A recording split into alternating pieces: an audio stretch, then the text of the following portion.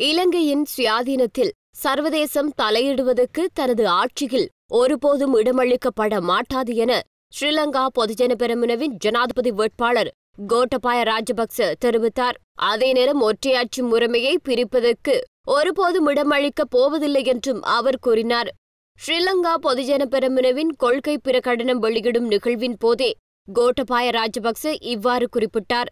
அவர் மேலும் கூறியுள்ளதாவது මෙම ප්‍රතිපත්ති මාලාව හරහා ඉදිරිකත් කොට තිබෙන්නේ நாட்டின் சுயாதீனத்தை பாதுகாக்கும் தேசியத்துக்கு முக்கியத்துவம் வழங்கும் மற்றும் அனைத்து பிரஜைகளது பாதுகாப்பை உறுதி செய்யும் நோக்கிலேயே எமது இந்த கொள்கை பிரகடனம் அமைந்துள்ளது. இலங்கை என்பது ஒற்றையாட்சி முறையை கொண்ட நாடாகும். இதனை பிரிப்பதற்கு நாம் என்றும் இடமளிக்கப் போவதில்லை. இந்த சுயாதீன நாட்டில் தலையிடுவதற்கு நாம் எந்த ஒரு சர்வதேச நாட்டுக்கும் இடமளிக்கப் போவதில்லை. தேசிய பாதுகாப்பை ஒரு அரசாங்கத்தின் பிரதான கட்டமைப்பாக நாம் கருதுகின்றோம். இதற்கு அரச பாதுகாப்பு கட்டமைப்பை நாம் மீண்டும் பலப்படுத்துவோம். சட்டம் மற்றும் நீதி என்பது வெறுமனவே பேச்சாக மட்டும் இல்லாமல் அதனை நடைமுறைப்படுத்தவும் நாம் நடவடிக்கைகளை மேற்கொள்வோம். ஒரு நாட்டில் ஒரு சட்டம் மட்டும்தான் நடைமுறையில் இருக்க வேண்டும். இது கீழ்மட்டத்திலிருந்து மேல்மட்டம் வரை சரிசமனாக செயற்பட வேண்டும். இதற்கான நடவடிக்கைகளை நாம் முன்னெடுப்போம். மக்களின் வாழ்வாதாரத்தை உயர்த்தும் வகையில் சலுகைகளை வழங்க நடவடிக்கை எடுப்போம். இன்று மக்கள் பாரிய வரிச்சுமையில் காணப்படுகின்றார்கள். இவற்றை எல்லாம் நாம் குறைப்போம். வட் வரியை எட்டு வீதமாக குறைப்போம். வாகனங்களுக்கான பொதுவான ஒரு வரி விதிப்பு மட்டும்தான் செயற்படுத்தப்படும். அதே போல மாணவர்களுக்கு தேவையான நடவடிக்கைகளை மேற்கொள்வோம். சுற்றுலாத்துறையை மேம்படுத்த எமது அரசாங்கம் நடவடிக்கை எடுக்கும். இதனூடாக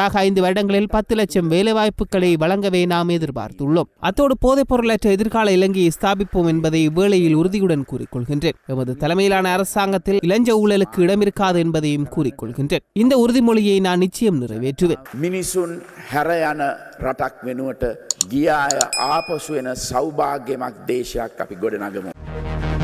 இது போன்ற முக்கிய செய்திகளை உடனுக்குடன் அறிந்து கொள்ள ஆதவன் யூடியூப் சேனலை சப்ஸ்கிரைப் செய்யுங்கள்